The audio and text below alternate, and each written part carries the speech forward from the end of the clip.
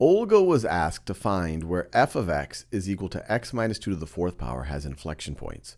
This is her solution. So we look at her solution, and then they ask us, is Olga's work correct? If not, what's her mistake? So pause this video and see if you can figure this out. All right, let's just, just follow her work. So here she's trying to take the first derivative. So you would apply the chain rule. It would be 4 times x minus 2 to the third power times the derivative of x minus 2, which is just 1. So this checks out. Then you take the derivative of this, it would be 3 times 4, which would be 12 times x minus 2 to the second power times the derivative of x minus 2, which is just 1, which is exactly what she has here, 12 times x minus 2 to the second power. That checks out. So step 1's looking good for Olga. Step 2, the solution of the second derivative equaling 0 is x equals 2. That looks right. The second derivative is 12 times x minus 2 squared, and we want to make that equal to 0. This is only going to be true when x is equal to 2. So step 2 is looking good. So step 3, Olga says f has an inflection point at x equals 2.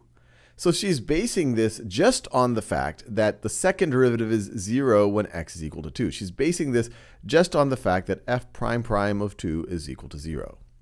Now I have a problem with this because the fact that your second derivative is 0 at x equals 2, that makes 2 a nice candidate to check out, but you can't immediately say that we have an inflection point there. Remember, an inflection point is where we go from being concave upwards to concave downwards, or concave downwards to concave upwards. And speaking in the language of the second derivative, it means that the second derivative changes signs as we go from below x equals 2 to above x equals 2. But we have to test that because it's not necessarily always the case. So let's actually test it. Let's think about some intervals. Intervals. So let's think about the interval when we go from negative infinity to 2. And let's think about the interval where we go from 2 to positive infinity. If you want, you could have some test values. You could think about the sign, sign of our second derivative. And then based on that, you could think about concavity, concavity of f. So let's think about what's happening. So you could take a test value, let's say 1 is in this interval, and let's say 3 is in this interval. And you could say 1 minus 2 squared is going to be, let's see, that's negative 1 squared, which is 1. And then you're just going to, this is just going to be 12. So this is going to be positive.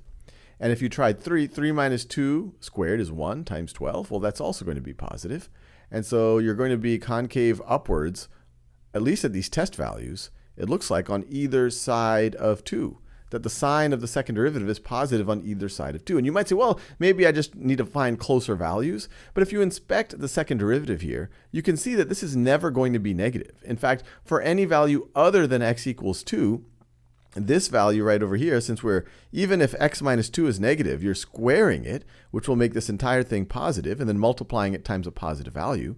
So for any value other than x equals 2, the sign of our second derivative is positive which means that we're going to be concave upwards. And so we actually don't have an inflection point at x equals 2 because we are not switching signs as we go from values less than x equals 2 to values greater than x equals 2. Our second derivative is not switching signs.